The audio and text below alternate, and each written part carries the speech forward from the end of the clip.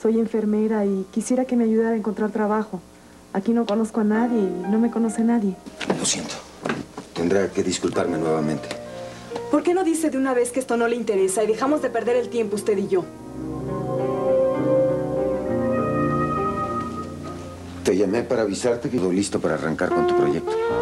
¿De veras? ¿Pudiste arreglarlo? Sí. Habla con Araujo para afinar los detalles administrativos. Muchas gracias, Francisco. Ay, me haces la mujer más feliz del mundo. Perdón, Francisco.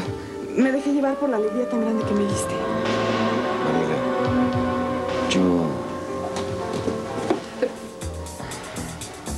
Disculpa. No sabía que estabas tan ocupado. Fui por estos documentos a la oficina de Araujo. Dijo que te urgían. Sí, claro. Es un hombre muy atractivo. No se trata de una mera atracción por Mariela. Porque tengo que complicarme la vida. Yo tampoco sé qué hacer con mi propia vida. Serás mía, Mariela. Nunca. Solo amaré a Francisco. Yo te voy a enseñar a amar a un verdadero hombre. Pregúntale a Mariela quién es Ken García. ¿Y cuál es su relación con Valenti? Eres el padrino de la familia a la que yo pertenezco. ¿Quieres decir la mafia? Porque eres un cobarde.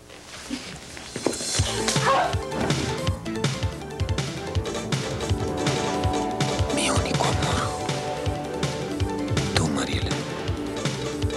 Tú eres mi único amor. Me has hecho más falta que nunca.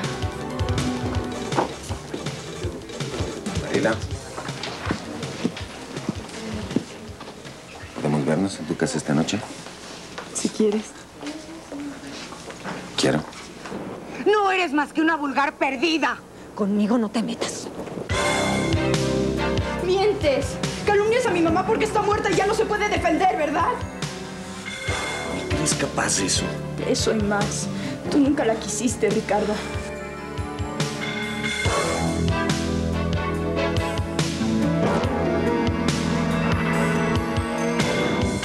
Jamás voy a corresponderte.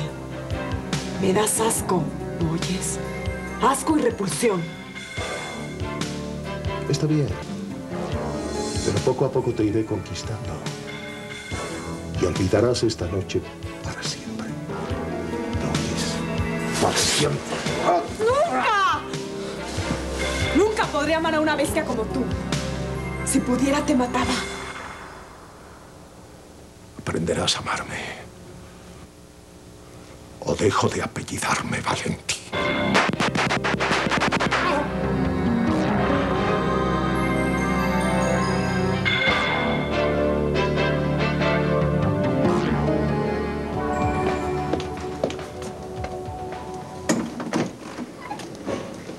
Hola, mi amor. Hola. Entre personas que se aman no deben existir secretos. No soy nada especial, pero...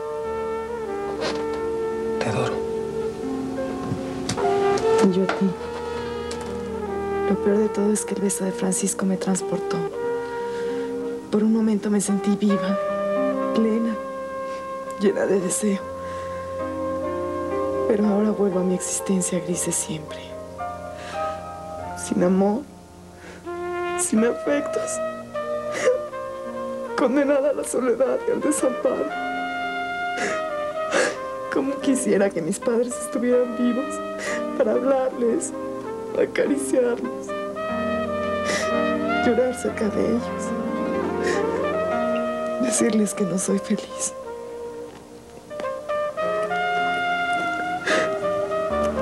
Mi madre murió poco después. Yo creo que de pena. Y desde entonces odié con todo mi corazón el mundo de las drogas y a quienes se enriquecen con ellas. Valente, aunque lo niegue, también está involucrado en ese mundo. Sí, es casi seguro. Pero no fue por eso que lo rechacé. Fue porque yo siempre dije que me casaría por amor. Y solo de ti he vuelto a enamorarme. ¿Has vuelto? Dijimos que el pasado no importaba. Pero sí, Me enamoré. O creí estarlo de un chico de mi barrio. Él me engañó. Me defraudó. Y no quiero recordarlo ni volver a hablar de él. ¿Puedes respetar eso? Sí, mi amor. Bueno, y ahora háblame de ti, de tu familia. No hay mucho que contar. Mi madre enviudó joven y de... después quedamos desamparados en la miseria.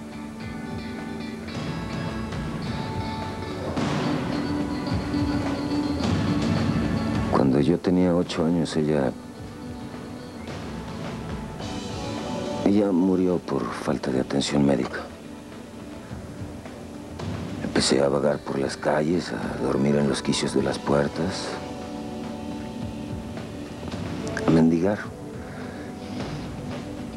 y a robar en los mercados lo que podía para medio comer. En una de esas conocí a Juan. Con razón ustedes se adoran. Sí. Y adoramos también al padre José Antonio, que fue el único que se compadeció de nosotros y nos dio una vida digna. Tampoco tenía por qué morir. Pero esa es otra historia que te voy a contar después. Ya no recuerdo seres queridos que perdimos. Estábamos muy solos, pero ahora nos tenemos el uno al otro. Y nadie nos va a separar, Mariela. Te lo aseguro.